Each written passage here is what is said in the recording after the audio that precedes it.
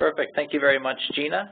Uh, welcome everyone to today's webinar, Clinical Deterioration, What Can I Do? Uh, my name is Jason Thompson, Communications Officer with the Canadian Patient Safety Institute. Apologies for the delay this morning and thank you very much for sticking with us. Um, before we get into the call itself, just a couple of housekeeping items. First, I'd like to introduce uh, a couple of members of the CPSI team who helped put this together.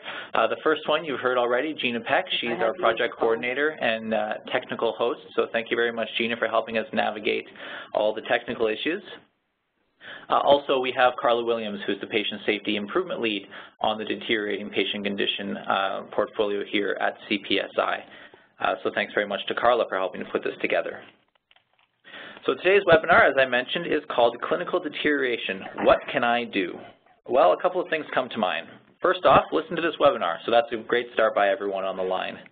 Secondly, you can all visit patientsafetyinstitute.ca, and if you enter the letters DPC for deteriorating patient condition into the search bar, this is the easiest way to access a ton of information curated by the Canadian Patient Safety Institute, the Healthcare Insurance Reciprocal of Canada, and Patients for Patient Safety Canada and it's all segmented whether you're a member of the public, a healthcare provider, or a healthcare leader. So it's really easy to find all the information that's relevant to you. But we'll touch a little bit more on what we have online later on. Throughout the call, please feel free to submit your questions via the chat box throughout the presentation and indicate who you're addressing your questions to if possible. We'll collect them and have time for a quick Q&A once all of the presenters have gone. Now let's meet our speakers for today. First up will be Donna Davis. Donna has worked as a nurse for 41 years in a variety of healthcare settings and is currently the Community Health Services Manager at Gainsborough Health Center in Saskatchewan. She is a past co-chair and current member of Patients for Patient Safety Canada. Donna developed the Patient and Family Advisory Council in her health region and is a passionate advocate for including the patient and family perspective in healthcare. Her passion for patient safety stems from the experience of losing her 19-year-old son. The next speaker will be Joanna Noble, who is the Supervisor of Knowledge Transfer within the Health Risk Management Department at the Healthcare Insurance Reciprocal of Canada. She leads the translation of claims data into patient safety knowledge and the dissemination of this knowledge to healthcare organizations, practitioners, and other stakeholders. 2016, Joanna was selected to be a member of the Canadian Patient Safety Institute's Knowledge Translation and Implementation Science faculty. Following Joanna will be Dr. Michael Miletin, who is a staff intensivist and respirologist at William Osler Health System in Toronto. He has served as the Medical Director of Critical Care at William Osler and has implemented rapid response teams in two large community hospitals. Dr. Miletin currently serves as the Critical Care Lead for the Central West Local Health Integration Network. Finally, we have Sabina Robin, Patient Safety Champion and member of Patients for Patient Safety Canada. Sabina has worked as a licensed practical nurse for the last 20 years in rural, urban, and community settings.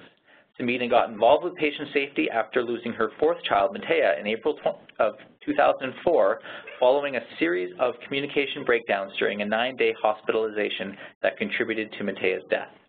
Thank you. better. Yeah, just have to find it now. Without further ado, we'll get started with the call, so we'll pass things over to Donna Davis.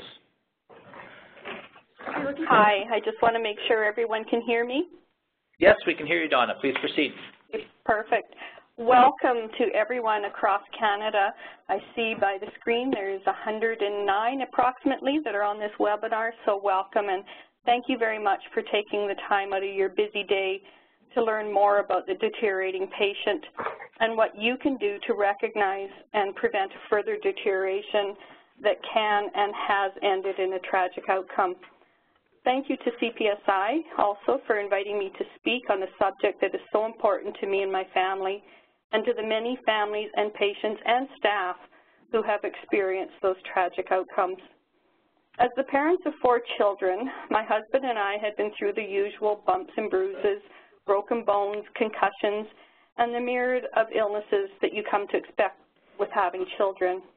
With our oldest child having high-level spina bifida, we had had multiple interactions with the healthcare system, and with me being a nurse, well, let's just say I thought I knew the healthcare system inside and out. That all changed when our 19-year-old son Vance had a single vehicle crash in the early hour, in pardon me, in the early hours of the morning on March 27, 2002. After calling the RCMP three times to come help him, he walked away from the accident seeking shelter as it was very cold at that time of year. We're in Saskatchewan. In the morning, the RCMP informed us of the accident and that Vance could not be found. After a 36-hour search, we did find Vance in a vacant house trailer four miles from the scene of the accident. He was laying on a bed with his blood-covered cell phone in his hand. He was semi-conscious with an obvious head injury. He was sent to our nearest ER and from there to a tertiary care center. Although still very worried about him and exhausted, his dad and I, we thought that we could breathe easy now. He was in a big city hospital where the experts would care for him and everything would be all right, except it wasn't. The first day at the hospital, Vance was confused, slept a lot, but would rouse when spoken to and seemed to know us, although he never called us by name, nor did he call his sister and our close family friend by name. He would say things like, where's my truck? I'll be okay. We were told his injury was just a little worse than a concussion, but he would be fine. It was a minor injury that would take time and rest. The next day, Vance appeared to me to not be doing as well. He was very irritable when roused. It took more to get him to rouse. He complained of more pain. He didn't open his eyes, and he said, I'm blind. I can't see. His pulse had dropped to 50. It had been around 70, 75 when he was admitted. I mentioned these things to the nurse and was told, he's young and he's in good shape, that's why his pulse is 50. He's just tired, that's why he doesn't rouse as easily. And the lights in here, the surgical intensive care unit where he was admitted, are very bright. That's why he doesn't open his eyes. He can't see if his eyes aren't open, I remember her telling me. I told the nurse I was uncomfortable with his condition. It seemed to be getting worse, not better. And I know not very many hours had passed, but enough hours that I could see a change. He wasn't getting better. I asked about a repeat CT scan just to see if there had been any change. It's just a minor injury, uh, we were told again. We only do CT scans if they are necessary, and it isn't necessary. This is just a minor injury. In fact, we were moving him to the ward, she said, at that time. And in approximately two hours, they sat him up to begin moving him to the ward. He grabbed his head and started crying and moaning. And I remember him saying, my head is going to explode. He started retching and vomiting. And the nurse said, well, I guess we won't move him now. We'll try later.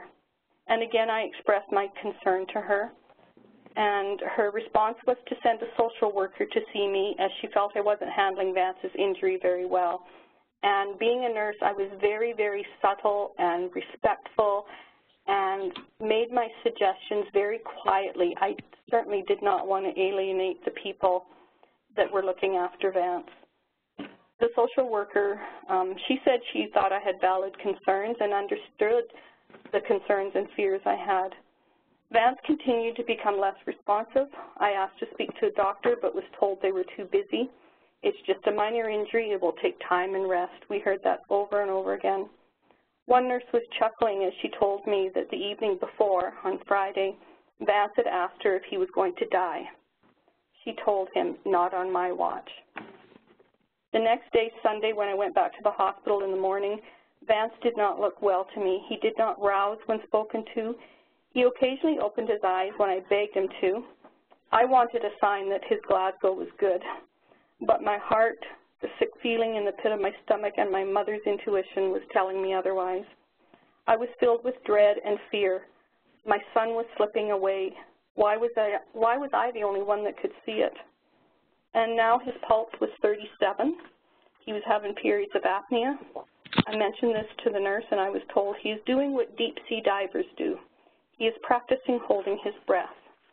I was astonished. I couldn't believe that, and I questioned her, what does that have to do with someone who's had a head injury? And she said, well, we see it all the time. The intensivist came in and did his rounds, and I was asked to leave the room. When he came out of the room, he said to the nurse as they strided past me, he's just being stubborn, he won't cooperate. And I wanted to jump up and say there's something wrong. It's not that he won't cooperate with you, it's that he can't. Something is going wrong. But I didn't. Again, I didn't want to alienate the staff. These were the experts out in rural Saskatchewan and Manitoba where I've nursed my whole career. We send people with injuries like this to the experts. Who was I to question?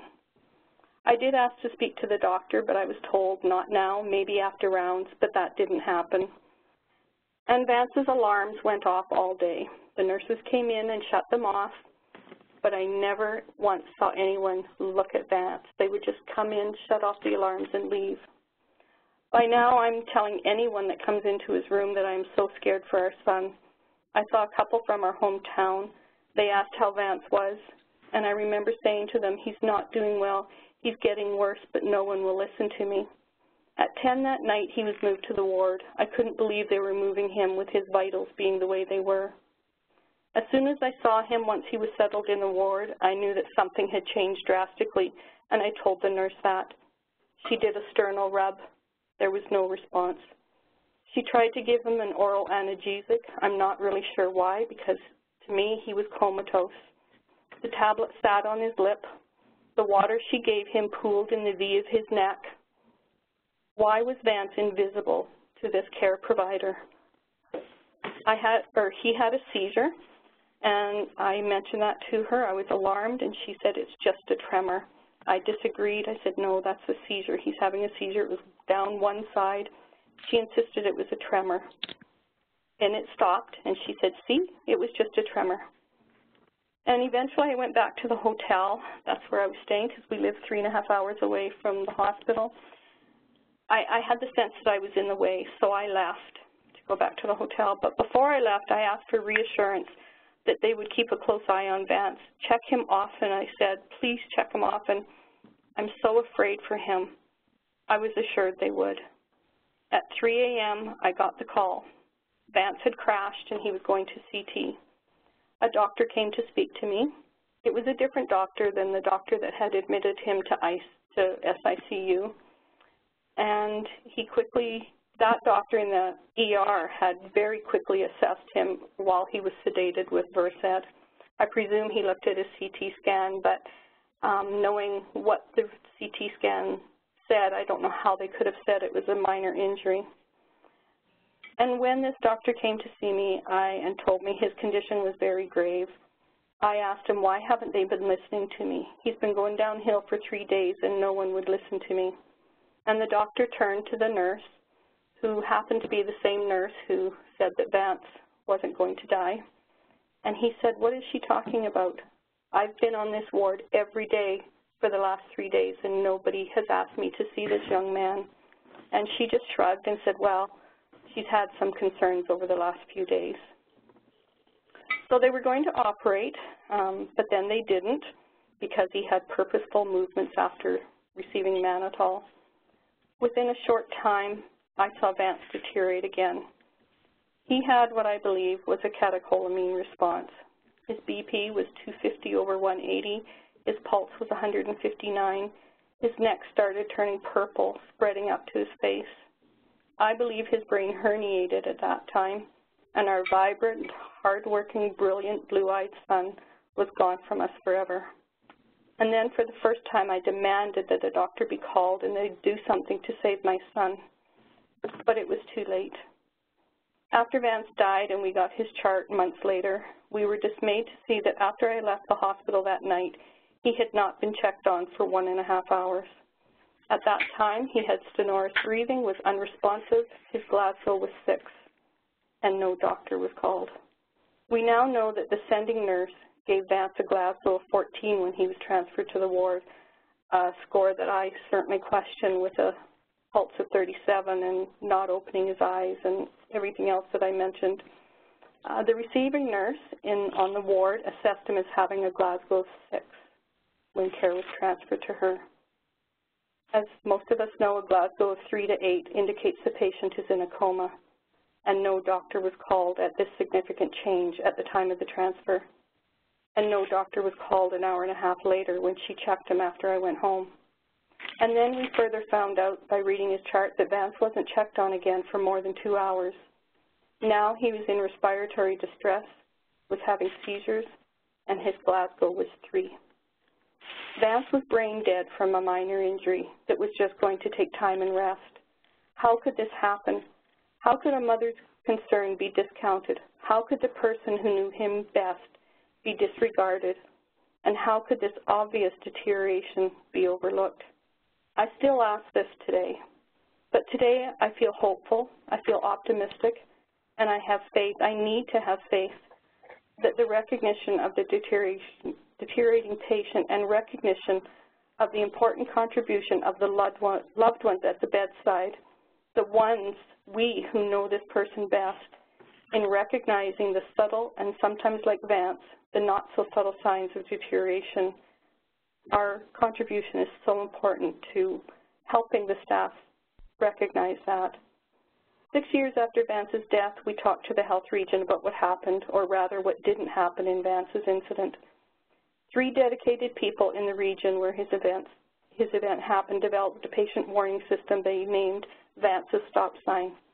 It is a stop-the-line system in the two ERs in the city where a flashing stop sign is placed on the ER patient tracking board to notify that there is a concern that needs to be addressed before the patient has a significant procedure, is transferred, or discharged.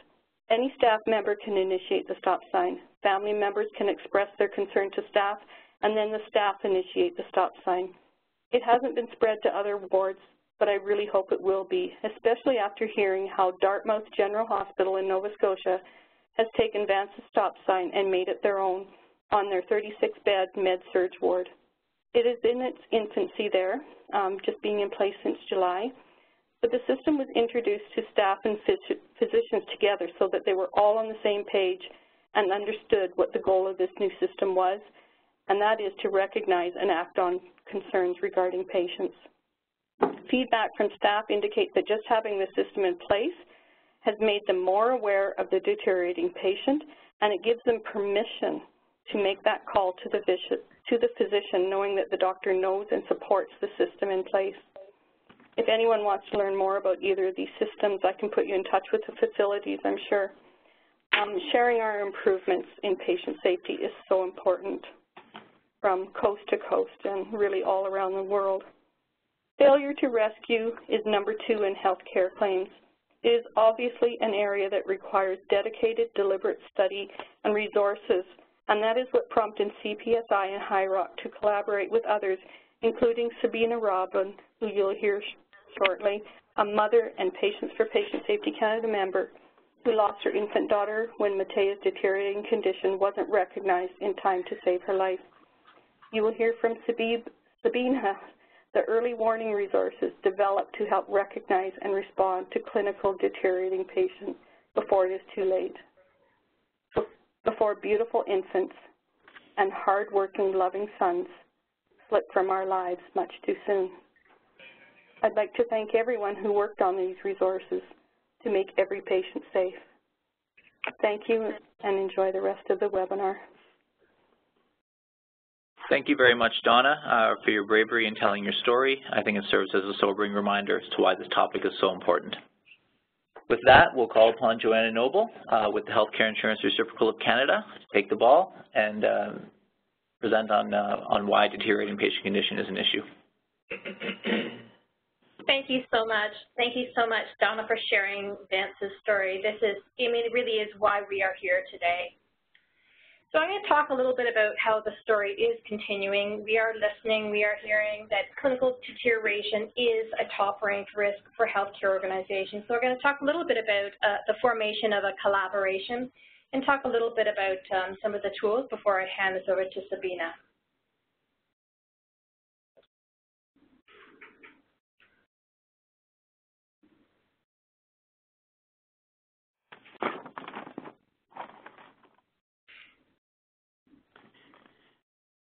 Sorry, just some technical difficulty here. If I can go back to the previous slide, is that possible?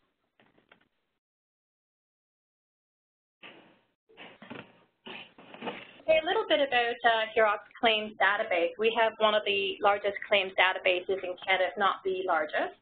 And, and, what we do is that we take the learnings from such claims and we rank them based on claims cost. What we know about claims data, it's not a good source in terms of frequency in part uh, due to what is required in terms of reporting to HIROC. So what is reported to HIROC is generally the catastrophic cases, so those are the cases that are really tip of the iceberg, so we don't get those near misses.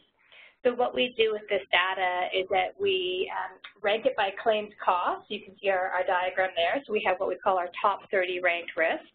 And these top 30 ranked risks make up 84% of the total incurred costs. So what we did for every single identified risk is that we developed risk reference sheets. So they're two-page practical resources that outline the key issues, mitigation strategies, and some case studies.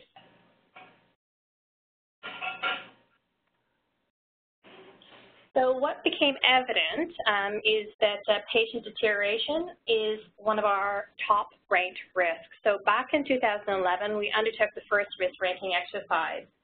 And uh, patient deterioration ranked at that time number 10. So we re-ranked it several years later, about three years later, and it jumped up to number two. So we're a bit surprised at that, um, but perhaps we shouldn't have been. Now, what you see on this graph, or in this table, is that patient deterioration is not just something specific to acute care. So we can see it's the second highest ranked risk for home care, number three for community health, number 10 for mental health, number 12 for nursing personal care homes, and number 12 for complex continuing care. So you can see that this is, this is a top ranked risk for a professional liability insurer such as HIROC. So a colleague of mine um, had the opportunity to actually present some of this information a couple years ago uh, during Patient Safety Week, which we'll get into in a couple of minutes. Um, but in terms of what we actually saw in our claims database, what we see is a lot of these cases involve almost um, a loss of the big picture when it comes to the clinical scenario. So for example, you might think it's a couple of minutes, but really it's been 24 minutes and that patient continues to deteriorate. We also see a lot, a lot of cases where uh, what one, one would consider the abnormal becomes the normal. So they almost normalize. And I think we heard that earlier um, in Donna's story when the practitioner said, well, we see that all the time, so they almost become numb to the abnormal. So we see in a lot of our cases there's concerns about the patient or the family. Um, they will bring forward their concerns, but it's not acted on. Um, and then we know in a lot of these cases that they were um, very aware of that deterioration. It might have been subtle, but the family knew best. We also see cases where staff were very hesitant to escalate care concerns where there's actually disagreement in terms of whether or not there was actually a deterioration.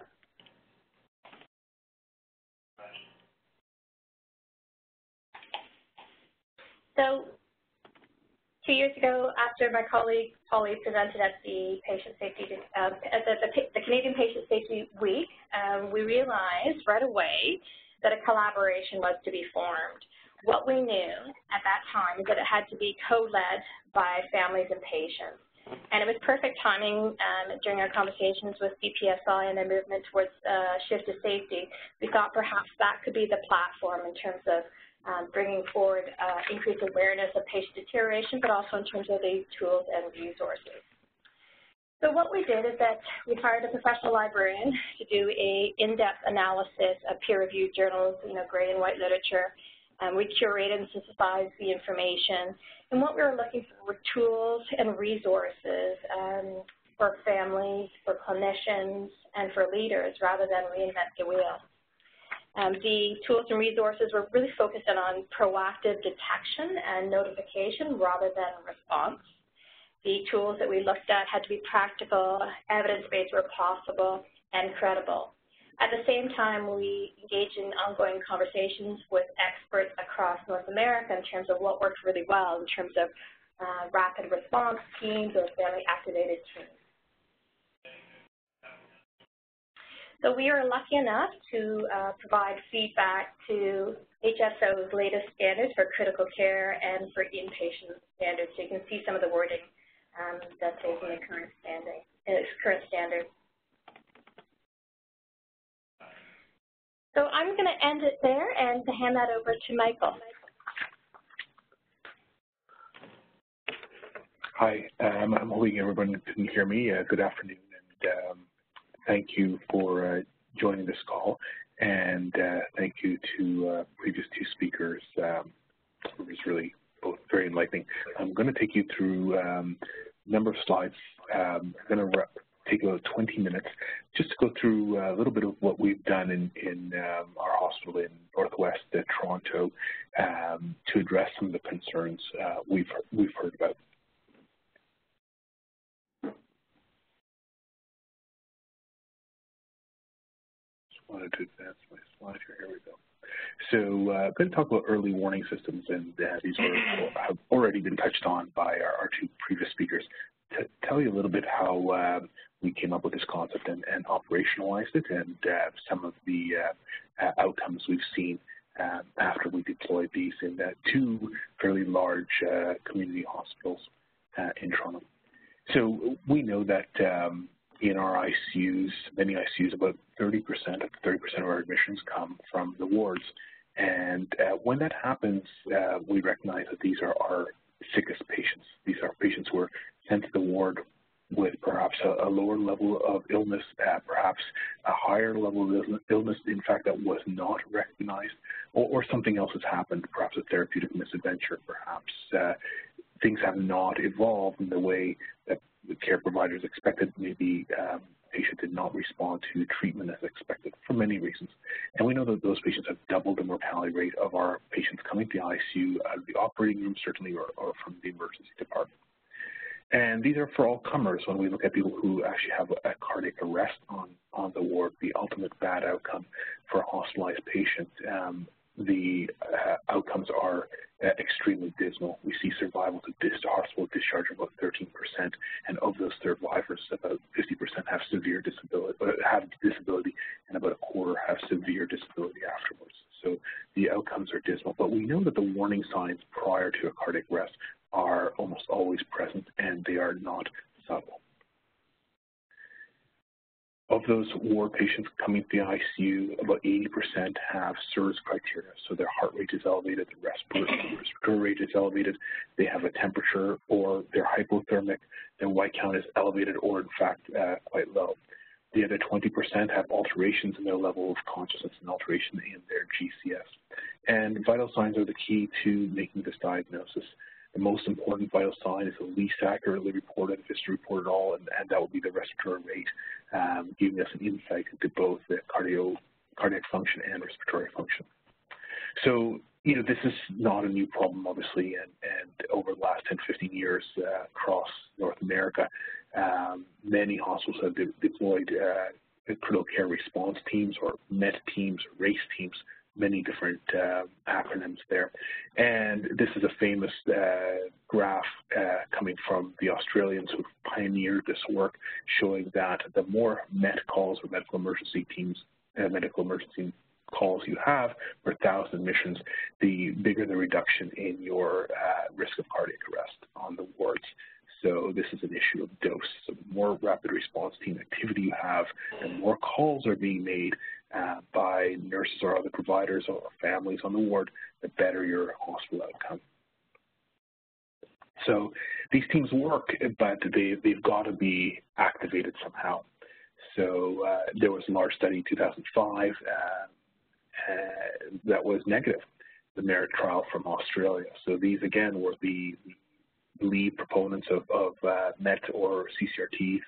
Um, they did all the pioneer, pioneering work. They did a large randomized trial and it didn't show a study between, they didn't show sorry, a difference between hospitals that had a team and hospitals that didn't. The outcomes were the same. And they were wondering why. Why, why did this happen? And in the end, a couple of reasons. The main reason was really that um, the hospitals that had uh, CCRT or MET teams um, simply didn't have those teams activated enough when they look back and said, okay, so what is the, um, how good are our calling criteria? So nurses are educated on the words to call if, if vital signs are abnormal, the patient looks unwell, if the patient has a decreased level of consciousness, a seizure, et cetera. Well, those, the sensitivity of those criteria are only 50%. Those are criteria that are used now around the world. So half the time, um, the call is not made or the illness is not picked up by using those criteria. So to have uh, sensitivity get higher, you, you have to have those criteria present. You have to recognize the criteria, and the call actually has to be made. So if the patient was sick, but the call wasn't made by the care provider on the ward, that counted as a missed call. So uh, to borrow from our cardiology colleagues, tissue. So we know that from multiple studies from around the world now, so increasing time between the calling criteria met, let's say a very high heart rate or a high respiratory rate, from the time of that criteria is first documented to the time that the rapid response team uh, is activated, the longer the time, the higher the uh, mortality rate for the patient. Non-activation of the CCRT for patients meeting calling criteria is also associated with increased mortality. So if nobody calls at all, you end up with code blue or near certain death if nobody calls for a while, you have a higher risk of ICU admission and a higher risk of death as well.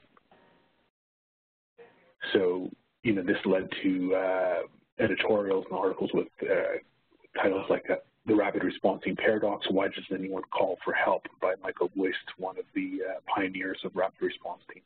Um, so CCRT activation depends on, you know, the accuracy of staff observation, the judgment, their judgment of the patient's condition, diligence in measurement of vital signs, and calling for help in a timely fashion. I mean, just circling back to what Joanna had mentioned in one of her slides, exactly the same, same message. So, you know, we've got these great teams out, but are they being optimized or not?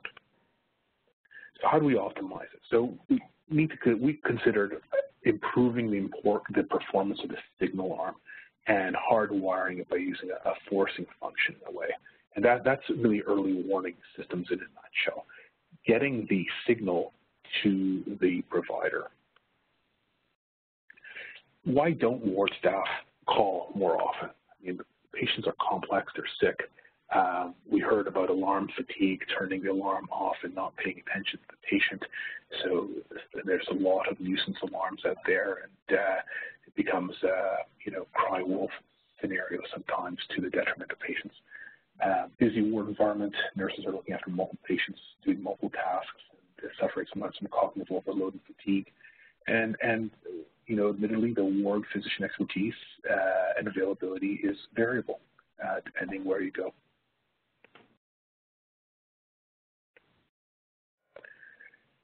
You know, we heard back from our clinicians and that, you know, we, we don't need a computer tell us uh, or an algorithm tell us who's sick. Um, you know, we, we know I can I can tell what a sick patient looks like. Physicians, nurses tell us, and that's true to, to a degree. But sometimes we forget to use our intuition. Again, when we're doing many many different tasks, when we have a lot of distractions, sometimes uh, our intuition is uh, not helping us. So if we use uh, an algorithm with intuition, maybe we're further ahead I mentioned that 80% of our patients we know that, that end up coming to the ICU have service criteria.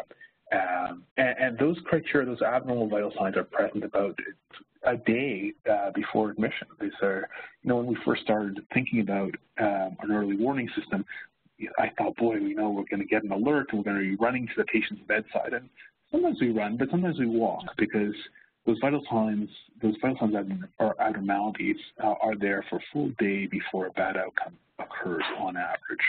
So you've got some time, time to, to think and, uh, and measure your response. Um, so one approach, um, vital signs, many hospitals now enter their vital signs into uh, hospital EMR or um, uh, computer system. Often this is done by a nurse. Sometimes it's done by a remote system. Often it's done right right at the uh, at the computer workstation in into the electronic medical record. And many of these systems uh, can be programmed fairly simply, in fact, to run a checklist and say, okay, we're putting those vital signs into the computer. Um, if the vital signs are abnormal, um, and we will define what abnormal is, tell us about it and generate an alert. So, you know, the human brain is not good at integrating a lot of pieces of information and making a big picture. Sometimes we have difficulty with lots of chunks of data, but a computer has no problem doing that. Um, sometimes we miss the forest for the trees, but if we create um, if we tell the computer, look, this, these, these uh, combination of abnormal vital signs equals a sick patient, it's fairly easy for the uh, for a programmer to to do and easy for an alert to be created. So you can design an algorithm to be very sensitive. So pick up everybody who might be sick, but a lot of them are will be false positives, meaning you know uh, pick up everybody with a high heart rate and a, a high-ish respiratory rate. Most of those patients on the ward will never end up in the ICU or have a code blue. They'll eventually go home. Um, but you'll know about everybody who could be sick. Or you can make it very specific, meaning you'll miss a lot of those false positives, but um, and, you, and you'll miss some real ones, but the signal you'll get are only the very sick patients. So you can do it one of two ways. And the way you set the characteristics of, of your of your alert is determined by who's going to be accountable for those vital signs. Who's going to respond to them? So a lot of boasts, like this is a growing literature in early warning, lots of boasts and papers and saying, well, we've got the best system and no, we have, and um, which uh, a lot of literature, a lot of time, money has been spent on creating or people looking for what's the best way to set these algorithms. What is the best combination of vital signs that are going to predict bad outcome for a ward patient? And there's about 20 or so out there, and which one is best, I don't really know. They're all they all work about the same. They're they're when you look at the performance characteristics area under the curve, that's the AUC, is somewhere around 80 percent. Um, none of them are terrible, and none of them are perfect. But I think what really matters is you want to match the alert you select to the level of, of accountability. Um, and I'll get back to that in a moment. So when you look at what's been done in uh, early warning literature today in terms of outcomes, there's not a lot of outcome literature out there.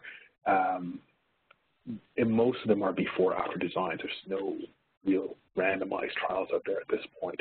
Um, one before-after design, the large one, 18,000 patients uh, on two continents.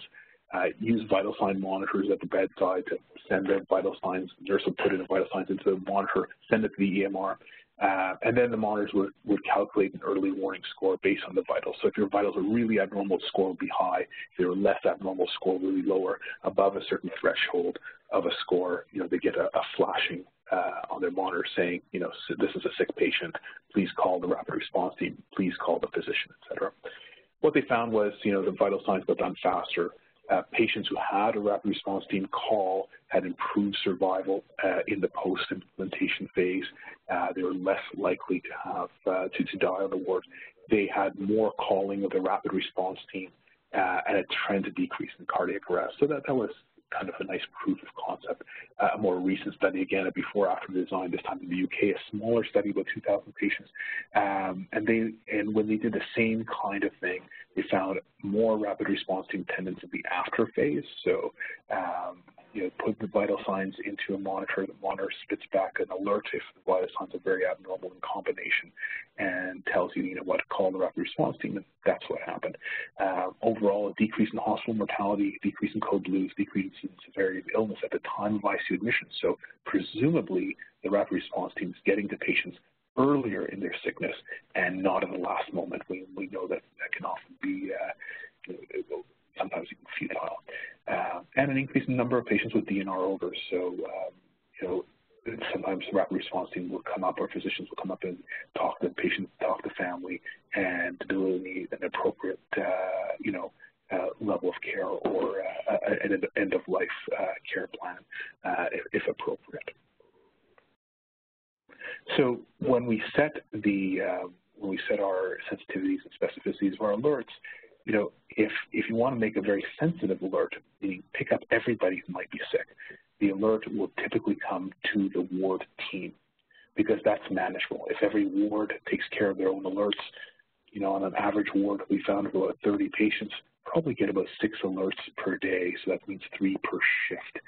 Um, we send those alerts to the charge nurse, who then is responsible for checking up on those patients with the bedside nurse, and then deciding on the response in a scalable fashion. If you choose a more specific alert, just targeting the very sick patients, that alert can go to the rapid response team. Again, the rapid response team is not going to be able to respond to you know, six alerts per day per ward. If, you've got a big hospital with lots of wards, it's going to overwhelm them.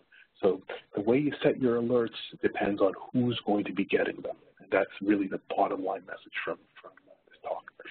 Um, at William Osler, where I work, the, the signal arm works as follows. The vital star entered into the uh, electronic medical record by the nurse abnormal vital sign sets are detected by the computer algorithm really based on SIRS criteria.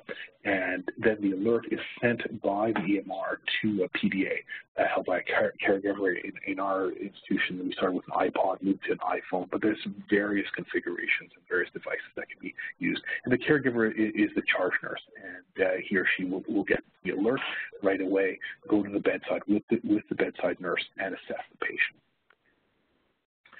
and uh, and that's the that's the response arm. And they'll depend on how, and their their response is scale, scalable depending on the degree of patient acuity. They might review in the morning rounds. They might increase the, the uh, vital sign frequency. They often will call the most responsible physician or decide to call the rapid response team directly. And it's often a, a trigger for end-of-life discussions as well for, for, uh, for some patients immediate benefits we saw when we deployed the system in 2014, we saw uh, better um, communication between the day and night uh, shifts. So one chart, the charge nurse from the day, for example, will give the device over to the night nurse and say, you know what, uh, patients A, B, and C triggered uh, alerts today. Uh, can you just have an extra on them overnight? Uh, so there's there's a sense of mastery uh, for for these uh, team leaders. They know who's sick on the wards. They don't have to hear about it secondhand.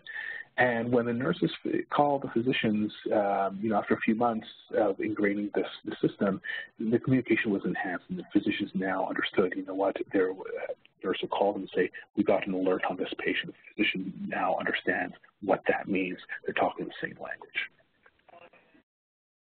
Uh, this, this is sort of the, just the pathway of how a patient may deteriorate and then how we want to stop that deterioration uh, early uh, by noticing these alerts and responding to them.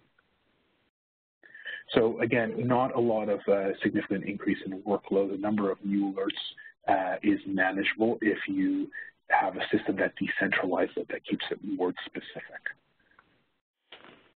To refine it, uh, we added some uh, triggers for neurologic deterioration using an AVPU score, which has been used in some jurisdictions.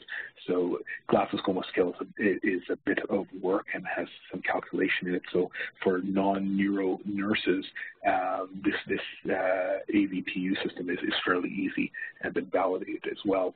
Uh, getting the rapid response team criteria that our hospitals use into the early warning system algorithm was also uh, key. Um, and if you're going to this way, uh, don't necessarily have to make the call. The the alert will tell you to make the call, which is which is helpful. And uh, our outcomes, so our one-year results uh, on six pilot wards, we saw a 35% reduction in code blues, an 18% reduction in unplanned ICU admissions, and about four, two to four lives saved each month across the organization. We expanded uh, in 2015 to the remainder of the medical and surgical inpatient uh, units. Uh, when doing this as a QI project, the nice part you get uh, ward-specific rates of code blues, deaths, IC transfers, so very granular uh, data that, that's very helpful so you can compare ward to ward over time. Sustainability, we were interested in, wanted to make sure that our nice results weren't uh, a one-off. And uh, this graph shows you the, the decrease in code blues uh, per thousand admissions uh, with our metric at uh, the two hospitals, uh, Civic Hospital and Etobicoke General Hospital, uh, over time. So we found a nice sustained decrease over the last few years. And with that, um, you know, we, we see that our rapid response team new consult activity has increased, a little bit of a drop in 2016, but it did increase overall since 2013. And it's probably the driver of our improved outcomes with, with this system, I think. And uh, looking at the hospital standardized mortality ratio, the HSMR, over time, we saw uh, a nice uh, decrease over time. Um, this, this, again, maybe probably is multifactorial, lots of good things uh, you know, lots of good quality work happening in these institutions, but uh, hopefully uh, we can take at least uh, some of the credit there. And this is a summary slide, and thank you for your time and attention today. Thank you very much, Dr. Miletin. Uh, certainly a lot of information to process. If anyone has any questions or comments, feel free to put them in the chat box. Uh, we may have time for a couple, but we'll have to see how close we are to the top of the hour, and uh, just given the delay, we may end up bleeding into the next hour uh, if there's some good questions that do pop up. Next, we'll invite uh, Sabina Robin to speak. Sabina, the floor is yours. Thank you. Well, thank you, Michael, for sharing that great work happening at William Osler. As a patient, I can tell you I truly appreciate the efforts you and your team are doing in implementing the early warning system. Noting the significance of failure to recognize the deteriorating patient, as Joanna mentioned in the beginning of the call, I would like to tell you about the outcomes of a project I am working on with CPSI and HIROC. So we came together about a year and a half ago to brainstorm on how we might work together to get some tools and resources into the hands of the public, providers, and leaders to either help be better informed about deteriorating patient condition or to support local improvement efforts regarding deteriorating patient condition. So we conducted a gray and white literature review and met with a number of people who we consider to be trailblazers in this subject area, one of whom was Michael Miletin. We then curated content wanting to profile the great work already happening to make it available on CPSI's Shift to Safety platform for others to learn from and use. Hoping this may be a help to you and your team, I'd like to point out some of that content. So what you're seeing here is the landing page. You can access this by searching deteriorating patient condition on the CPSI's website. As well, the link to the page is available here in the chat box if you'd like to explore some of the content along with me. Here to the right, you will see four tabs, which open into tools and resources specific to public, provider, or leader. Additionally, you will also see here a list of recommended readings for scholarly articles divided into helpful sections.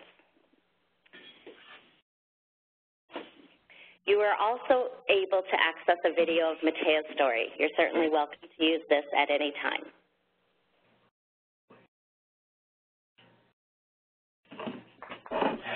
Let's go back and have a closer look at the public tab. One of the tools I'd like to highlight here for the public is the top 10 signs of a rapidly declining patient.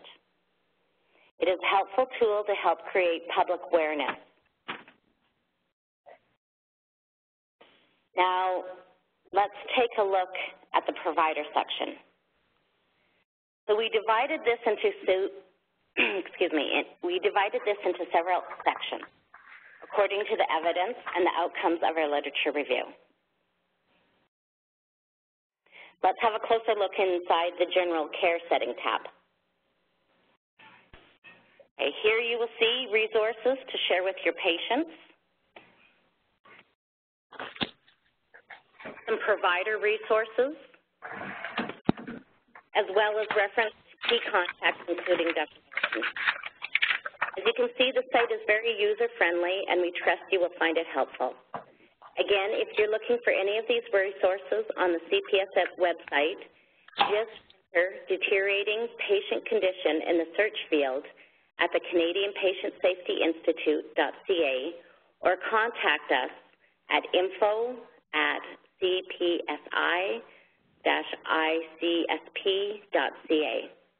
Thank you. Now I'll turn it back to Jason. Hopefully we can get in some questions. Thank you very much, Sabina. Uh, we do have a few questions that have come in and a few minutes left to spare, so we'll see if we can uh, get through them as quickly as possible.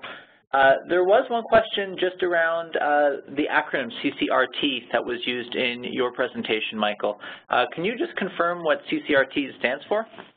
Sure. Uh, critical Care Response Team, uh, sometimes known as a Rapid Response Team or a Medical Emergency Team. Story about the algorithm. sorry, the, the acronym. Perfect. Thank you very much. one more question for you. this person asks, if someone is an athlete and has a low heart rate, usually um, 40 to 60 beats per minute, for example, uh, what heart rate would indicate that they are getting into difficulty? Um, a good question. Um, probably somewhere below their uh, their baseline, perhaps 20% below their baseline, although I think it really depends on what the clinical situation is, um, what other medications they might be on. Um, so there can be confounding factors. So that's a, that's a bit of a difficult one, but generally um, the heart rate is, I would consider as uh, one part of an overall assessment of the patient and, um, you know, perhaps one clue to what's going on, but sometimes the heart rate in and of itself um, can be difficult to use without knowing the rest of the story. Great. We also had a couple of questions around uh, rapid response teams in either smaller organizations uh, or in community uh, care settings, for example, long-term care, home care, um, and where they they likely wouldn't have a traditional rapid response team. Uh, is there any suggestions or anywhere we can we can point people who are looking to to perhaps implement this on a smaller scale? Um, I, I, don't have any information about um, rapid response teams in long-term care settings, and I don't think there's uh, any literature, at least I know about, uh, supporting that. However, um, there are a variety in, in acute care settings. Um, there are different permutations of rapid response teams. Uh, for example, in the UK, we see uh, most of most of the rapid response teams out there have are, are in fact nurse-led. Um, some rapid response teams are led by respiratory therapists in other jurisdictions. Uh, they're not always uh, physician-led. Like I said, in the UK, they're, they're often nurse-led, usually uh, a nurse with critical care training.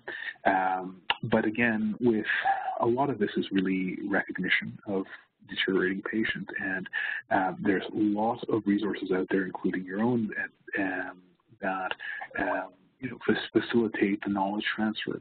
Um, so this is not uh, rocket science. Um, I think most people with uh, acute care, you know, healthcare background uh, can learn this.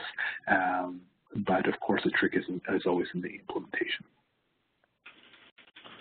Okay, great. Uh, and we do have one more here. Um, this person asked if there's been consideration to mandate hospitals to extend their rapid response teams to be called by patients and families rather than by clinicians only?